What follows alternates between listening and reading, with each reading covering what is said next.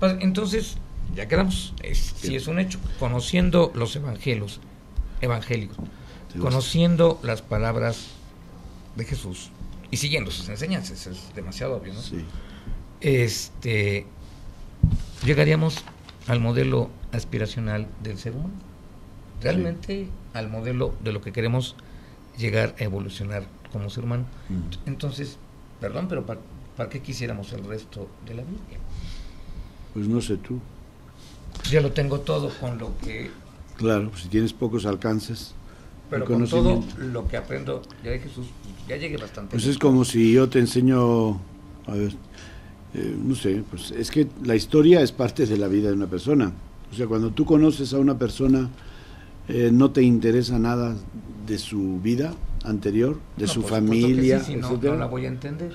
Ah, entonces, No voy a comprender por qué es así si no entiendo su contexto de origen. pues por, por eso también, el, para entender la razón de ser de todo lo que es Jesús, porque los evangelios no son libros teóricos, son libros prácticos, en el sentido de que nos describen a la persona de Jesús.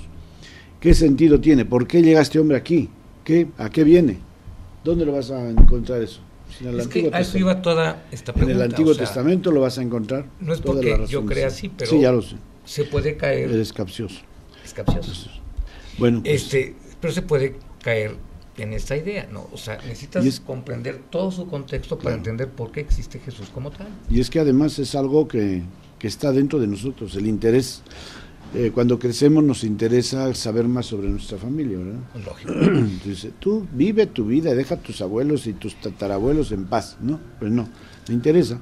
Me interesa de dónde salió y este apellido que yo tengo, de dónde viene, etcétera. Y si estás viviendo en el DF, pues resulta que tuviste un abuelo que vino de Ameca Meca o que vino de, de Chihuahua, ¿no? Todo eso está dentro de la... Bien se dice que la inteligencia tiene pasión por el pasado. Eso. Y el pasado, pues ya sabes que es mae- la- pasado es, es un maestro, maestro del presente y con todo lo que puede haber de error, de equivocado en el pasado, pues también todos esos errores nos ayudan a, a vivir de otra manera o a hacer las cosas de otra forma. Entonces, ciertamente que los evangelios mm, para pues para una de hecho en los libros de en los en los cursos de iniciación a la gente que quiere conocer por ejemplo lo que se llama cocatecumenado que son los cursos de iniciación para poder llegar a, a recibir el bautismo o renovar el bautismo pues no se estudia solamente los evangelios se estudia también el Antiguo Testamento porque como nos dice San San, esto que, no sé si alguna vez ya lo, lo, lo leímos, ¿verdad? Pero como seguramente que esas personas que estuvieron entonces cuando lo leímos a lo mejor no están ahora y las que están ahora no estuvieron entonces, pues eh, dice el San Pablo en la carta a los Corintios capítulo 10, no quiero que ignoren, hermanos, que nuestros padres estuvieron todos bajo la nube y todos atravesaron el mar y, y todos fueron bautizados en Moisés, etcétera, y todos bebieron la misma bebida y la roca de la misma roca que era Cristo y la mayoría de ellos no fueron del agrado de Dios. ¿Por qué? Porque sus cuerpos pues sus cuerpos quedaron tendidos en el desierto. Estas cosas sucedieron en figura para nosotros, para que no codiciemos lo malo como ellos lo codiciaron, no nos hagamos idólatras al igual que ellos, no hagamos, no tentemos al Señor, no murmuremos como algunos de ellos murmuraron y perecieron bajo el exterminador. Todo esto les acontecía en figura y fue escrito para aviso de los que hemos llegado a la plenitud de los tiempos. Así pues, el que esté en pie, mire no caer. Entonces, como aviso, entonces, si es aviso y es lección y es ejemplo, pues lo tenemos que conocer, porque si no, oye, Sí, un aviso, ah, me cierro los oídos, como hay gente que, hasta luego Gerardo, como que llega a los avisos en la parroquia y se van sin escucharlos, no les interesan los avisos, ¿no? Padre, este, no quisiera, pero uno de, de los temas que me pidieron por internet, este, tanto en México como del otro lado del Atlántico es una reflexión sobre lo que es el parte de la Biblia que es el Apocalipsis, ya como parte final, antes de que la Biblia nos haga que Pues el Apocalipsis eh, a mí personalmente no me interesa mucho, porque para leerlo pues hace falta eh, estudiarlo bastante, pero bueno, es un libro también inspirado y hay, hay capítulos que se entienden muy bien y muy fácilmente.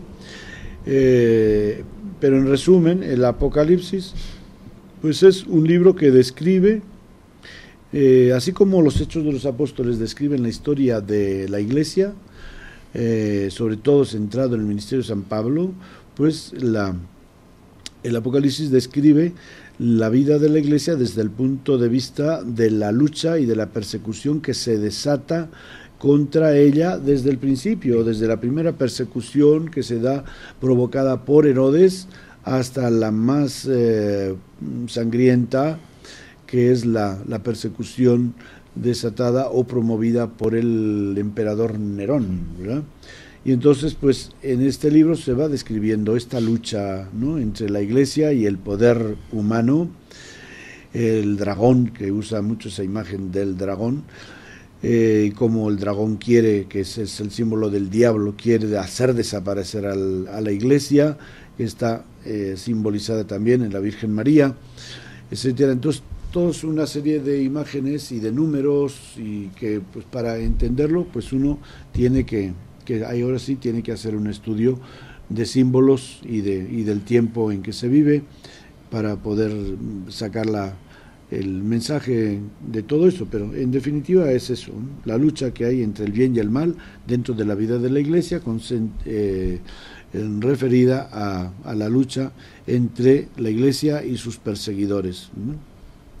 Pero no va ligado, como comúnmente se, se piensa, a una cuestión casi oracular del final de los tiempos, no, barbaridades, ¿no? No tiene, no tiene nada. Lo que pasa que al hablar de, aquí mismo acaba, si te has fijado que hablaba San Pablo, que ha, mencionado el término de la plenitud de los tiempos.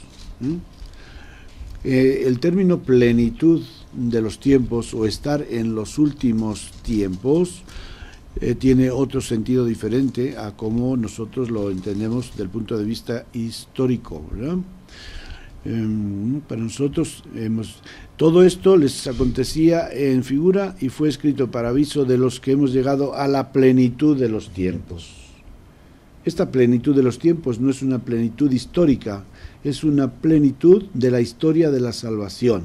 Si la historia de la salvación ha llegado a su plenitud ¿Por qué? Porque Cristo ya ha realizado esa salvación. Con su misterio pascual ha realizado ya la historia de la salvación en cuanto le toca a Dios. Ahora nos toca a nosotros el corresponder. Entonces la plenitud es esa. Ya se ha cumplido. Eso es. Ya se ha cumplido las promesas de Dios.